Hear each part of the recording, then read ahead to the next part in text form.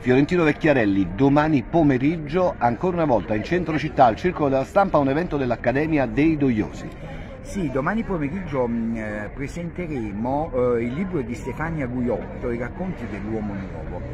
che più che la presentazione di un libro sarà un dialogo con l'autrice che noi faremo, una donna, devo dire, di grandissimo spessore umano e culturale che ho avuto l'opportunità eh, e anche la fortuna di conoscere qualche anno fa, ho avuto modo di apprezzare la sua grandissima sensibilità che viene tutto, tutta fuori eh, dalle sue opere, sia come artista, perché lei è anche una pittrice, ma sia anche come scrittrice. È un argomento davvero molto interessante e sarà un pomeriggio dove si alterna alterneranno eh, interviste all'autrice fatte eh, dal, dal, nostro carissimo Gianluca Matucci a interventi musicali che inframmezzeranno i vari momenti. Quindi un pomeriggio eh, di grande interesse culturale, possiamo dire letterario, musicale, a cui invito tutti ad intervenire e a partecipare.